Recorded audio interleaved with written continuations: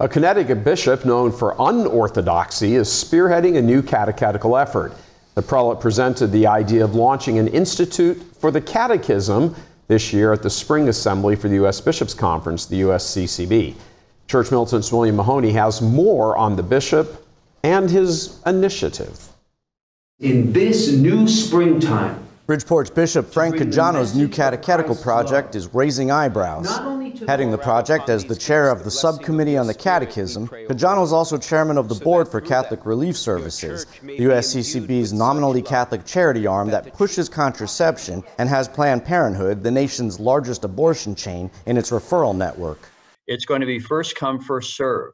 And in the Episcopal battle on whether to enforce canon law or continue to permit fake Catholic politicians like Joe Biden and Nancy Pelosi to Holy Communion, Caggiano seems to be on the side of the latter. we wear these masks, my friends, not to protect ourselves, but in an act of Christian love for our neighbor, known and unknown.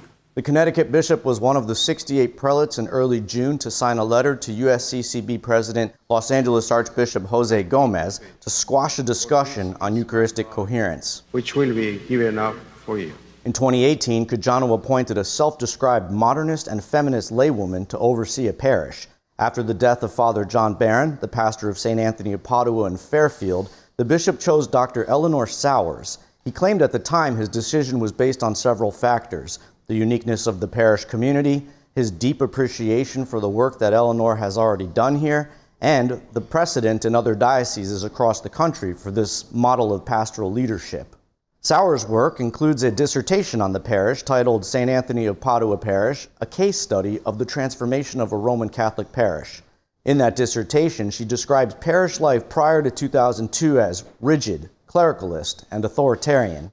There is that one line that Dorothy speaks towards the end there is no place like home. Caggiano's Institute for the Catechism will change how catechetical materials are evaluated in what the prelate calls the next evolutionary stage. One main difference will be when the material is evaluated by theological consultants appointed by Caggiano's subcommittee. You could take it in many different directions. It will be involved during the creation process rather than at the end. Before they ought to be blessed, we must be properly disposed. Critics are skeptical, worried this Institute for the Catechism could do even greater harm, considering Bishop Caggiano's unorthodox track record. Good report, William. You know, Caggiano was one of many bishops who uh, either know everything that's horrible in the church and just cover it up or is completely ignorant. Back in 2017, Church Militant went down to a, a, a Catholic Leadership Forum conference meeting in Orlando. And we were passing out these flyers that said, Save our church on it. And we bullet pointed maybe five or six things, you know, the homosexuality and the priesthood, all this stuff. The year before, this was the summer before McCarrick, Caggiano sat in the midst of like two or three thousand lay people who had been handpicked by the bishops and scoffed at it and said, The church doesn't need saving, it already has a savior. See how clever I am with my, with my little turn of phrases and everything. Uh, if the church doesn't need uh, all kinds of hard work and saving, what are you opening up an institute for the catechism for? Yeah, I, I, don't understand that at all. I mean, this is a guy's. Yeah, I've listened to him too. I've listened to some of his homilies and stuff, and it's like this. You know, they, they sort of. It's kind of like that Dolan sort of thing where they say things that sound kind of Catholic, but it's not really deep or anything.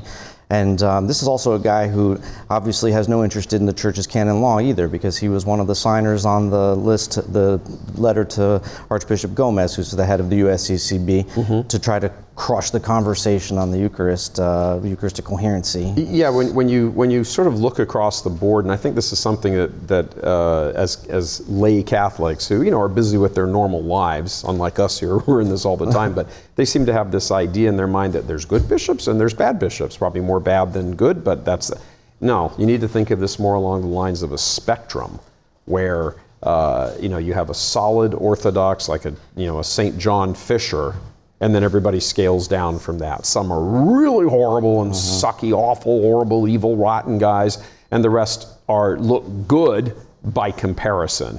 And that's sort of the stat- status of the hierarchy, certainly in the U.S. right now. I think that's exactly right. Uh, you know, I remember when Dolan was bishop out in Milwaukee, and he had said something pro-life, and I remember my dad was like, "Oh, this bishop, he's so great," and I said, "I said, wait, wait."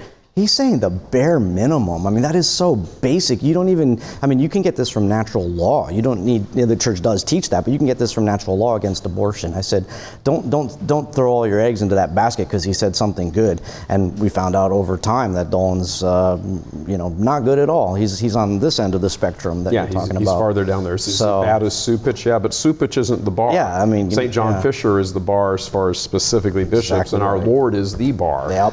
That's a long haul. That's a long haul for all of us. But you know, I'm sorry. Bishops have the grace of office. If they disregard that, and many of them do, and here's another one. Yep. You know, good luck to them. Bishop Caggiano is from Brooklyn, where he served as a priest and then auxiliary bishop. He was ordained by Brooklyn's current ordinary, Bishop Nicholas DiMarzio, who, by the way, is being sued for sex abuse cover up, who also signed the letter to crush discussions on Eucharistic coherency.